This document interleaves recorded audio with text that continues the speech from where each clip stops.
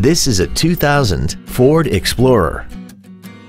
This SUV has a 5-speed automatic transmission, a 4.0-liter V6, and the added safety and control of four-wheel drive.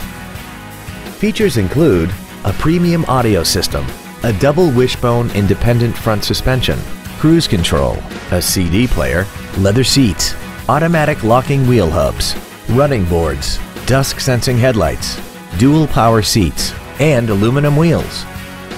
Contact us today to arrange your test drive.